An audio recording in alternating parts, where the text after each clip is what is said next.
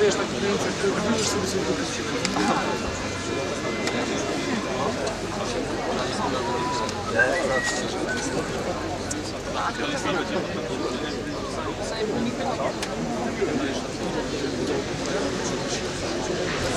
Dęba, Łukasz Ulek, Dawid Gwiazda, Klaudia Malczyk.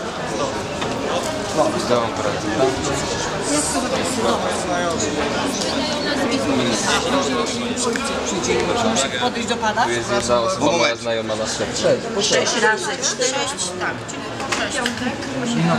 Sześć razy 3, 18.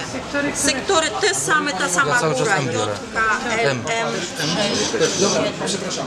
6, 6 plus 25, 6. to czyli 12 chcecie? A co, ja bym... 12, nie, 18. może 12 Dwa, trzy, cztery, pięć, sześć.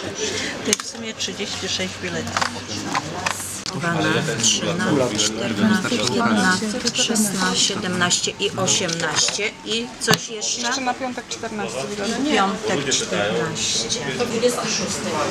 22 bilety wyszło. 8, M. Nie, nie? M.